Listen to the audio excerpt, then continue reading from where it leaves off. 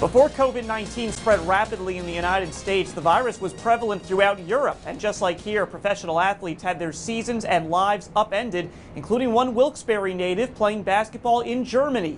He shares his story with us.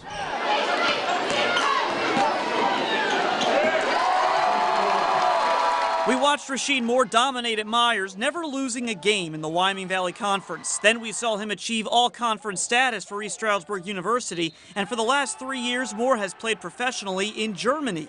It's an experience that he said at first was tough adjusting to. Dem nachfassen Rasheed Moore. East Stroudsburg was 45 minutes away from my hometown, so I've always been 45 minutes away from home. Getting used to being on the other side of the world was definitely very, very difficult, but um, it's just something you get used to. You get used to FaceTime and being on the phone a lot with your family.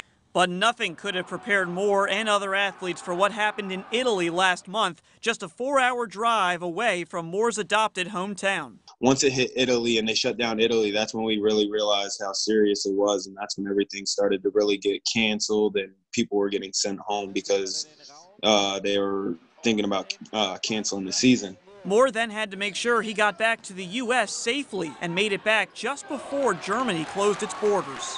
When we were coming home, we had to we had to mask up. We had to use our hand sanitizer. You, we had to do everything, wipe everything off.